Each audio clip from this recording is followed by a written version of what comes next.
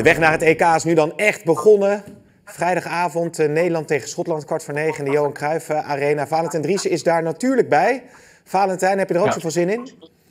Nou ja, als ik jou hoor, de, de weg is eh, volgens mij al drie keer begonnen. Hè. Bij de loting is die begonnen. Bij de eerste wedstrijd is die begonnen. Toen ze gekwalificeerd zijn, is die begonnen. Ja. Nu begint hij weer.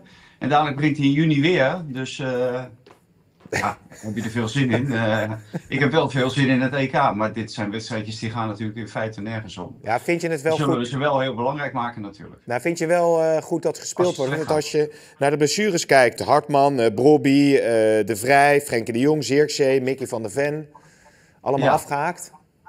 Nou, voor, voor Koeman wordt het natuurlijk moeilijk om sommige van deze jongens te zien in de ideeën die hij heeft. Hè. Zirkzee bijvoorbeeld, voor iemand als achter de spits, eh, kan het werken bij het Nederlands elftal, heeft hij daar het niveau voor. Ja, dat kan hij niet, eh, dat kan hij niet uitproberen. En Zirkzee vorig jaar bij Jong Oranje zat hij voornamelijk op de bank. Ja. Eh samen met Depay, nou ja, daar gaf hij al aan dat hij dat niet zo zag zitten. Dus dat hoeft hij eh, ook niet te experimenteren. Aan de andere kant zijn er natuurlijk wel dingen die hij wel kan proberen. Eh Wijnaldum Depay, werkt dat nog? Ja, middenveldbezetting zonder Frenkie de Jong, want die is nogal blessuregevoelig. Want die is er heel veel interlands niet bij. Nou, blijft hij fit voor op het, op het EK. Dus de keeper, eh, wie, moet er gaan keeper op het moment dat Bijlo er niet bij is? Dus er zijn ook wel dingetjes die hij wel kan eh, uitvogelen in deze twee wedstrijden. Maar ja, het, het is natuurlijk voornamelijk om, eh, om geld op te halen, dit, deze wedstrijdjes. En niet voor het technische aspect. nee, als je dan kijkt naar die doelman, dan staat Vlekken op doel vanavond dus tegen Schotland en dan dinsdag Verbrugge tegen Duitsland. Ja. Eh, wie denk je dat hij in zijn hoofd als eh, favoriet eh, ziet? Is dat Vlekken? Nou, dan toch vlekken. denk ik dat hij die als favoriet ziet. Want Verbrugge die heeft de laatste wedstrijden gekiept. En als je echt vol overtuiging bent over Verbrugge, dan laat je Verbrugge gewoon staan. En nu wordt het cijfertje wisselen. En dat wordt helemaal een probleem op het moment dat je eh Bijlo er dadelijk niet bij hebt. Al mocht hij zodanig geblesseerd- zijn dat hij het EK niet haalt. Ja, dan zou je altijd een twijfel houden. Of Vlekken of Verbrugge. En dat laat hij hiermee wel blijken dat hij twijfel heeft. Want Anders zeg je gewoon van als Bijlo er niet is, dan is gewoon Verbrugge mijn eerste goalie. Die keept tegen Schotland en Duitsland. Ja. Dus iedereen, hè, want hij wil graag duidelijkheid. En is het voor iedereen duidelijk. Maar dat heeft hij niet eh, verschaft. Nee, dat ligt toch een beetje dicht bij elkaar dan eh, die twee, wat dat betreft. Ja, eh, voor de keeperstrainer waarschijnlijk ook. Hè. Die werkt natuurlijk met die gasten. Ik Ja. moet zeggen, ik vind Verbrugge een prima keeper. En vriend Vlekken, die heeft het een keertje minder gedaan.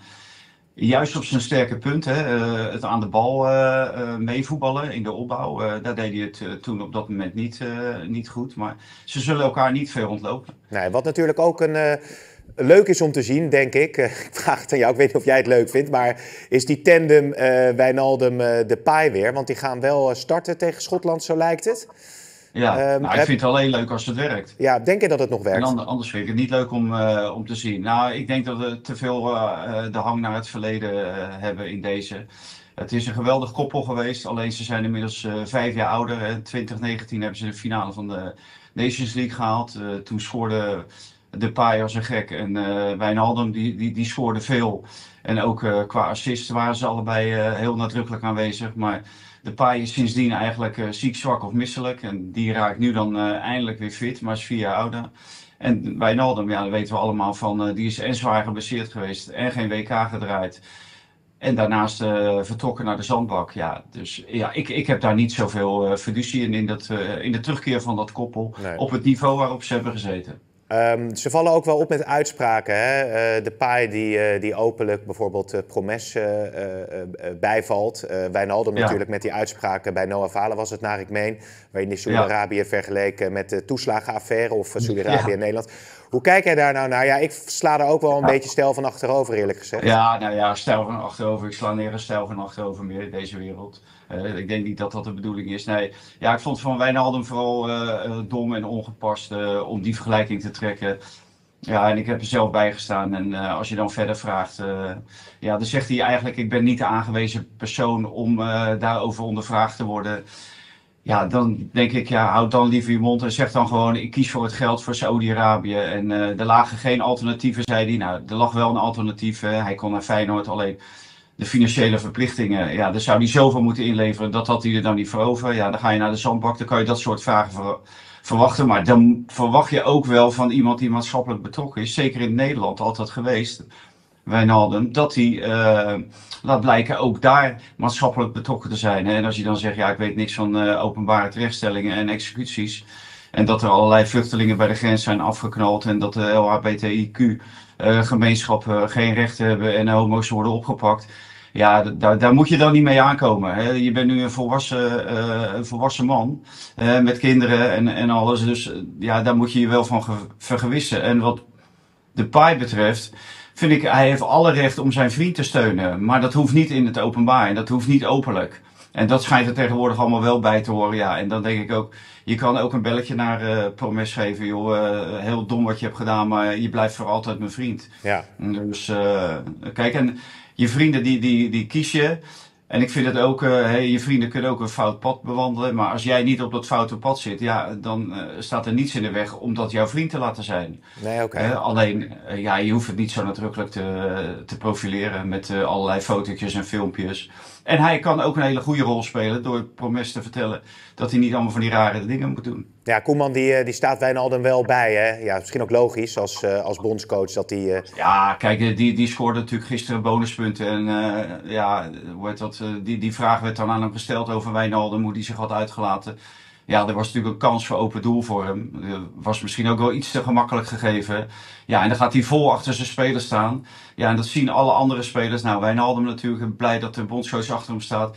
En de, die andere jongens natuurlijk ook, want die weten als wij in de problemen komen, dan staat de bondscoach vierkant achter je. Ja. En dat is natuurlijk ook een trucje. Maar ik weet zeker als je Koeman gewoon uh, één op één speelt, of één op één spreekt, dat hij zegt van uh, ja, dit zijn natuurlijk allemaal niet uh, heel handige dingen en dat kan je beter allemaal niet doen. Nee, als het over de formatie gaat, nou je noemde het al even, Zirkzee en Robbie er dan bijvoorbeeld niet bij. Ja, middenveldbezetting interessant. We ja. hebben interviews in de krant gehad, onder andere ook met, met koopmijners. Wat, wat, ja. wie, wie, wie, manifesteert zich nou dusdanig dat je zegt, die verdienen echt een, een basisplek ook op het EK?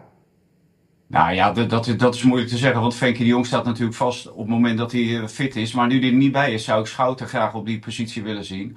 Nou, Etienne Reinders is natuurlijk een vastigheidje uh, geworden, dus die, die, zal ook wel spelen. Het is alleen de vraag, ja, hoe gaat hij spelen? Wordt het weer uh, ja. 5-3-2 of uh, wordt het 4-3-3? En ja, dat deed hij nogal geheimzinnig over. En denk ik, ja, dit, dit is gewoon een oefeninterland. Kan je gewoon open kaart spelen? Wat, waar, waar gaat het over? Uh, tegelijkertijd roept hij van, uh, ik wil heel veel duidelijkheid uh, ook op het EK. Dus dan staat de formatie vast, waarschijnlijk op het, op het EK. En denk ik, ja, dan kan je nu ook wel zeggen wat je precies wil. Maar dat hij er geheimzinnig over doet, ja, kan ook wel betekenen dat hij misschien met een hooghoed, met een verrassing uit de hooghoed komt. misschien een keertje met drie middenvelders. Oké, okay, dus toch 4-3-3 dan wellicht?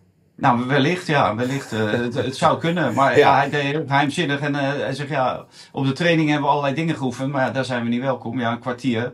Dan staan ze een balletje hoog te houden en dan word je weggestuurd. Ja, overigens uh, hebben we nog de kraker uh, tegen Duitsland dan dinsdag. Maar dan nog uh, Canada en, en IJsland. Hè? Dus dat wordt ook genieten. Ja, ja, ja, dat zijn echt geweldige affiches om je goed voor te bereiden op het EK.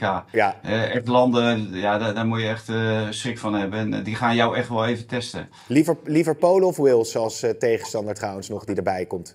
Op het EK? nou, geef maar Wales. die hebben ze volgens mij vorig keer ook een keer verslagen. Ja, dus ja. Ah, Polen ook. Dus, maar ja lood om oud ijzer. Het zijn niet voor niks landen die in de play-off zitten. Dat komt gewoon, uh, betekent dat ze gewoon niet goed genoeg zijn. Dus dat moet uh, appeltje eitje zijn voor, uh, voor ja. die openingswedstrijd. Hey, nog, nog één ding. heb jij trouwens ook taart gekregen van, van Koeman voor zijn 61ste verjaardag? En was het lekker bij die persco? Ik heb gewoon geen taart gezien. Niet? En, uh, en, en, ik was op tijd. Uh, nee, en uh, bij het koffiezetapparaat stond helemaal niks. Er stonden zelfs geen koekjes deze keer.